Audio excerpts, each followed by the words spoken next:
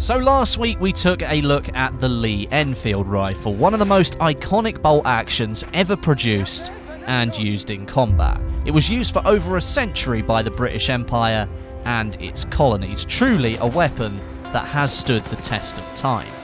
This week though, we're going to be taking a look at a less common firearm, but one that I've become very attached to in Battlefield 1. This week on Weapon History, we're going to be taking a look at the Italian self-loading Cei-Rigotti rifle.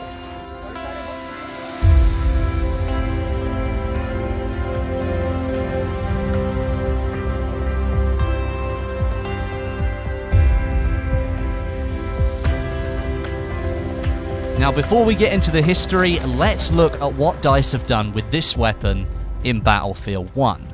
The Cei-Rigotti is the starter weapon for the medic class, offering players an easy footing into the role of reviving people and patching players up. It comes in three variants, the factory, the trench and the optical, and the weapon is really focused on close to medium range work, leaning more towards the medium range. The lack of a true high powered optic version really limits players at longer ranges, despite it having a named variant called Optical, that simply refers to the upgraded sights that that version has, which work very similarly to the Lee Enfield carbine variant. The factory variant of the Cei-Rigotti offers the user the benefit of a faster time for the recoil and the spread to decrease after each shot, meaning you can fire the weapon a little bit faster as it will reset to the center of the screen a lot quicker than the other variants. This is helpful for those people who like to follow up with another shot at those longer ranges where sometimes a player might be able to sneak away and get behind some cover. Now the disadvantage of course is that you're limited to pure iron sight combat, which isn't the most efficient for those longer ranges. That's where the optical comes in, offering a red dot sight setup, making aiming much clearer, and it will help you hit those targets that are a bit further away. You trade out that faster spread and recoil decrease though, which is actually very important on the Cei-Rigotti, in favour of the weapon not having as much spread with the bullets to begin with. That means when you're aiming down sights, you can be more confident that where you're looking is where the bullets are going to go. Of course, you've got to lead the target a little bit if they are moving, but the spread of the bullet is tighter, meaning when you aim, it's going to go a little bit closer to where you think it's going to go.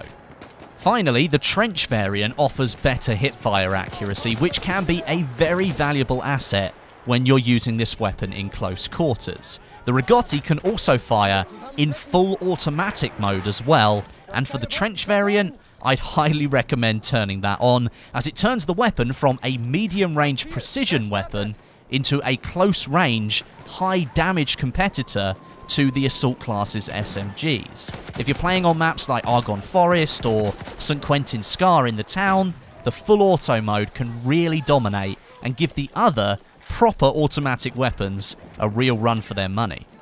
Now I've become rather partial to the optical variant and everyone loves an underdog so I've been using it quite a lot recently in the rush game mode and that's usually dominated by scouts with their proper optical sights and marksman medics using the Mondragon or the Selbstlader. Pop up with a Cei-Rigotti optical for mid-range in full auto mode and you'll end up surprising quite a few people who thought they were going to win that gunfight. It's a good rifle to use if you fancy having a tough game against other players with weapons that are clearly superior at longer ranges and when you're playing Rush, you really will be at a disadvantage with the Cei-Rigotti. But beyond Battlefield 1, what does the history of this weapon look like? Have DICE modelled the Cei-Rigotti accurately against the weapon's real-life attributes, or are we looking at something that was adapted to really suit a first-person shooter video game? Let's take a closer look.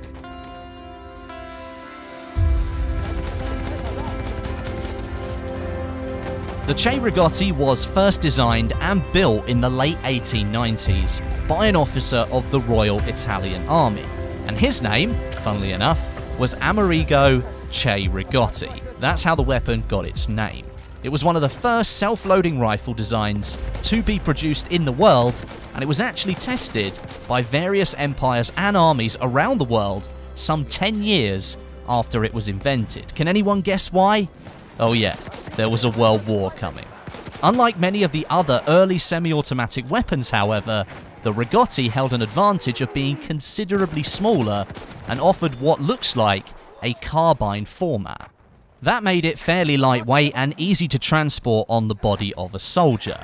What I haven't told you yet though is despite all of those empires testing the weapon, it can only ever be classified as a prototype as it was never officially adopted into service with any nation, and information on the weapon is actually fairly limited.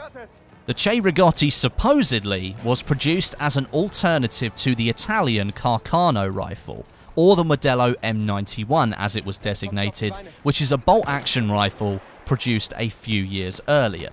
With the Carcano being the weapon of choice for Italian troops at the time, you might expect the Cei-Rigotti then to be a conversion, using most of the Carcano parts and then having them modified to fire fully auto. That's not actually the case.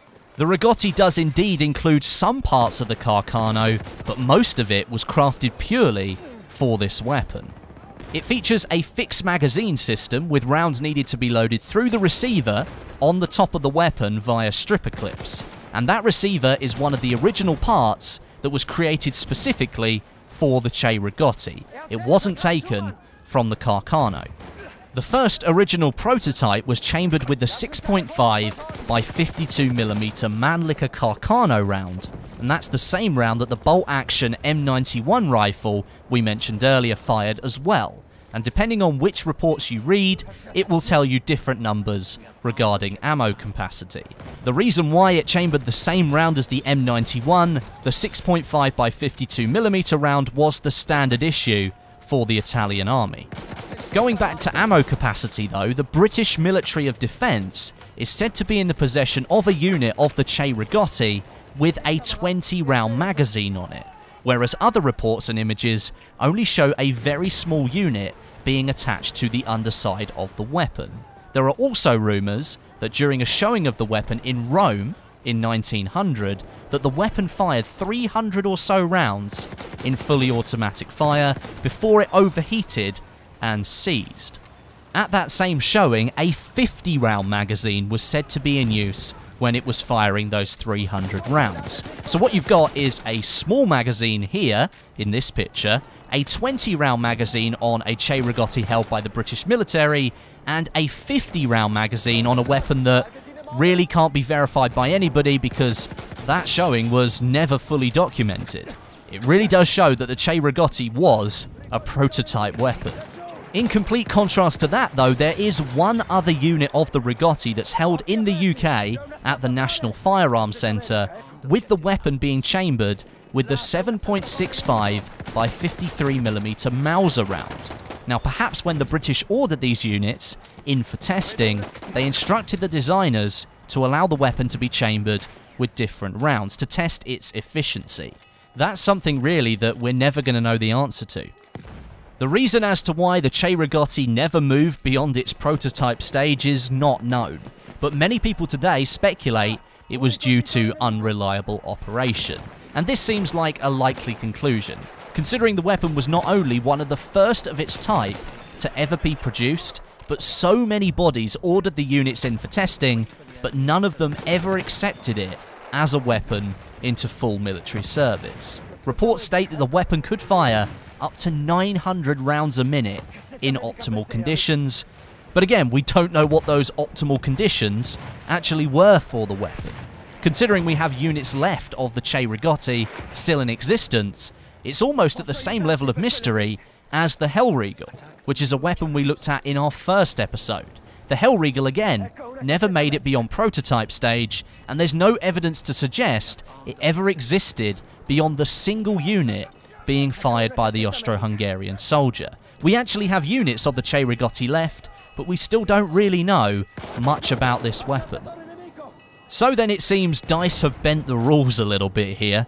There's no footage of the weapon in use, there's no true accurate records of how the weapon really operated or performed, and nor is there any confirmation that the Rigotti was ever inducted into service by any of the major powers during the First World War.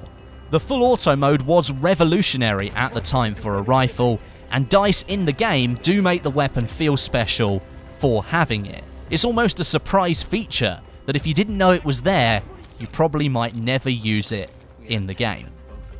That's the Cei-Rigotti then, and the end of episode 4 of Battlefield 1 weapon history.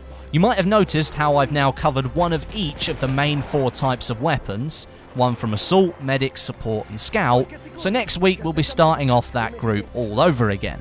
It doesn't matter what order we really go in, but I want you guys to leave your comments down below and let me know which weapon you'd like to see next week on Weapon History.